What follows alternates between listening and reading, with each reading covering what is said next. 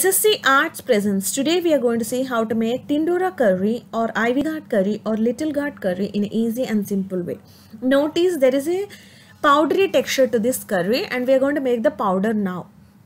It is peanut and Little Gourd curry. Half kg of peanuts, 2 strings of curry leaves, about 4 to 5 garlic cloves, red chili powder as per your taste, peanuts half cup, Salt as per your taste, 3 pinches of turmeric. The first step that we are going to do is dry roast a pan and we are going to add the peanuts and then fry them. It's just a dry roast fry, no oil.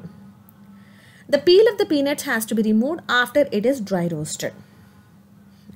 Separate out two-third parts of it and then one-third part of it has to be kept aside.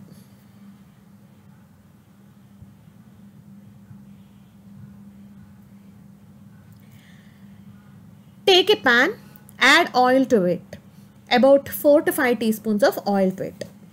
If required, you can add more if you want the fry to be more crispy. Now we are going to take the peanuts that we have set it aside. That is the one third portion of peanuts that we have taken aside and then going to roast it for about 30 seconds to a minute till they slightly change their color we are going to roast the curry leaves as well in oil. I've chopped Tindora or ivy gourd or little gourd lengthwise. So in the oil I'm adding turmeric powder and then I'm putting the pieces. You can chop them in the circular way also. It's purely depending upon how you feel to cut this vegetable. Nicely ensure that the oil is coated over the little gourd. Slot it in between. Let it cook. It has fried. It has become little crispy. Meanwhile, let it be on the stove in medium low flame or medium flame.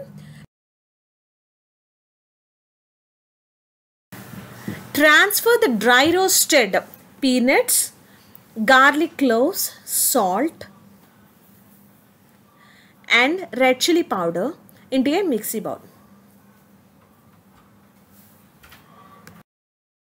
Don't blend it into a smooth mixture. Blend it into a little coarse mixture.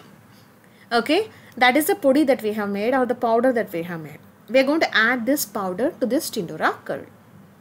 And we are going to nicely cook it for about 5 to 10 minutes in medium flame.